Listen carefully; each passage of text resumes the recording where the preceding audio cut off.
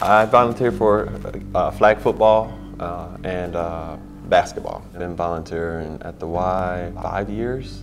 I have kids of my own, so um, keeping them active and being able to give kids a, a insight on different sports, you know, like basketball and football, the ones I coach.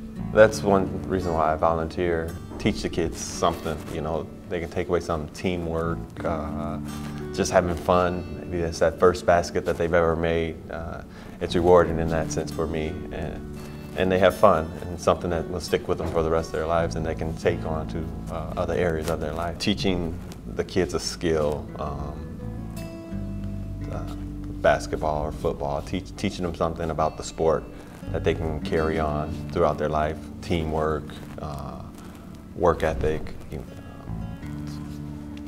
just skills like that that they can use in, other than other than uh, in the sport. They can take it into their life with them.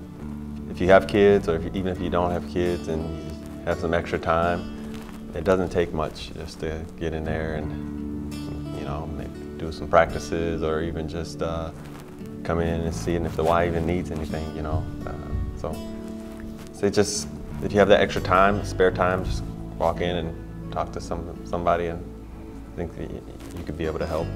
Favorite thing about volunteering at the Y is being able to interact with the different kids and the families. Um, you become really close with the families of the kids that you coach. Uh, that's rewarding. You make new friends in that way. Uh, and again, just teaching the kids skills and stuff that they can use throughout their life.